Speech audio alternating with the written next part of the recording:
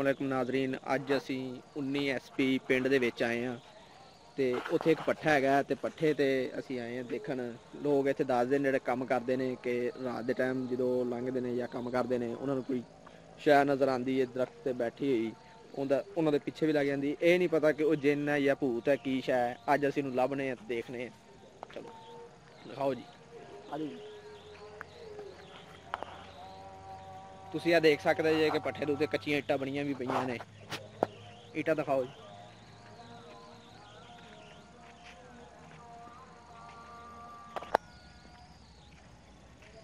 ਥੋੜਾ ਜਿਹਾ ਕੈਮਰਾ ਉੱਤੇ ਕਰੋ ਜੀ।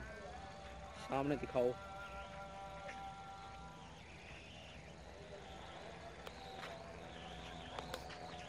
ਆ ਝਾੜੀਆਂ ਵੀ ਦਿਖਾਣੀਆਂ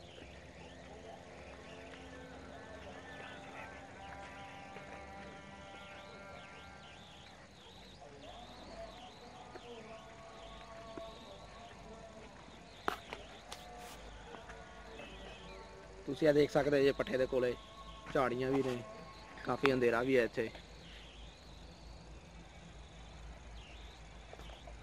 ਇੱਧਰ ਨੂੰ ਚੱਲੋ।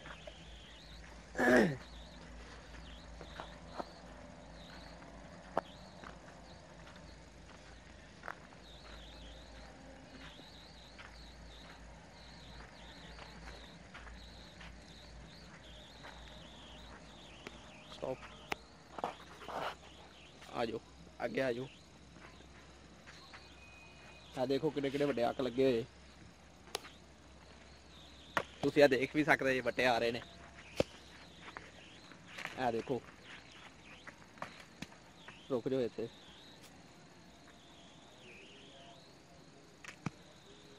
ਆ ਦੇਖੋ ਇਧਰ ਕਿੱਕਰ ਨੂੰ ਵੀ ਵੱਜ ਰਹੇ ਨੇ, ਪਤਾ ਨਹੀਂ ਕਿੱਕਰ ਹੈ ਕਿ ਨਿੰਮ ਹੈ। ਆ ਦੇਖੋ।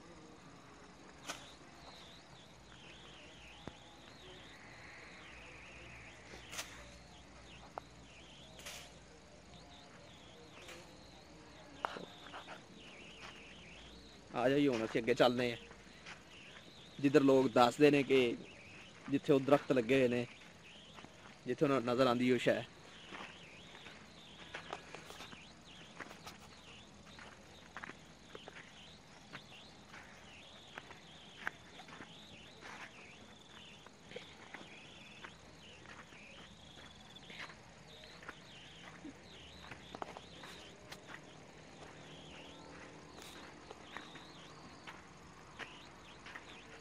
ਇੱਥੇ ਤਾਂ ਮਿੱਟੀ ਬਹੁਤ ਹੈ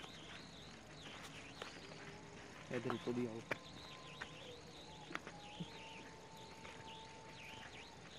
ਇਹ ਝਾੜੀਆਂ ਦਿਖਾਓ।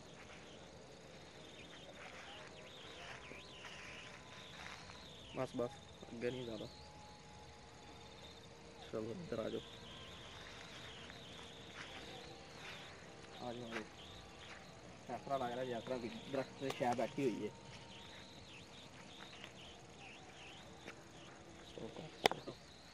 ਚਲੋ ਜੀ ਨਾਜ਼ਰੀਨ ਅੱਗੇ ਚੱਲਨੇ ਤੁਸੀਂ ਆ ਦੇਖ ਸਕਦੇ ਹੋ ਉਹੀ ਦਰਖਤ ਹੈ ਲੱਗ ਰਿਹਾ ਕਿ ਉਸ ਦਰਖਤ ਤੇ ਫਿਰ ਕੋਈ ਸ਼ੈ ਬੈਠੀ ਹੋਈ ਹੈ